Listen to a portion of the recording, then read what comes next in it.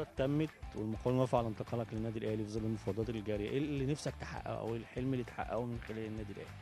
أكيد طبعا يعني حلم إن أنا ألعب أكيد أفريقيا و آه، يعني النادي الأهلي طبعا من أندية كبيرة في أفريقيا وفي العالم فيعني أكيد طبعا يعني التواجد في نادي زي ده يعني هتبقى حاجة كويسة برضو ليا.